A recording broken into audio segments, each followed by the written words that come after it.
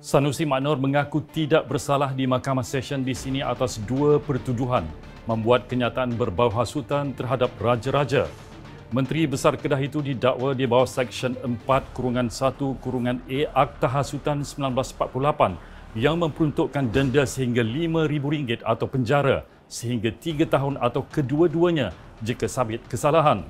Sanusi didakwa melakukan kesalahan itu di Simpang 4 Taman Selayang Mutiara, Selangor pada 11 Julai lalu. Bagi pertuduhan pertama, Hakim Nur Rajah Mat Zain membenarkan ikat jamin RM5,000 dengan seorang penjamin dan menetapkan 4 Oktober untuk sebutan semula kes.